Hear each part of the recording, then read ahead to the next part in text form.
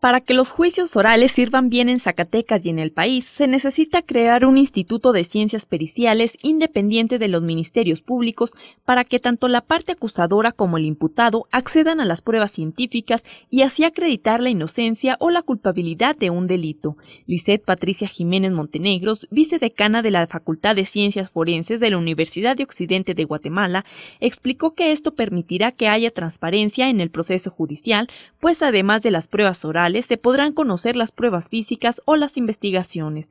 Ejemplificó que si la prueba de ADN no sirviera para el Ministerio Público, pero diera un resultado negativo para el acusado, le serviría para probar su inocencia.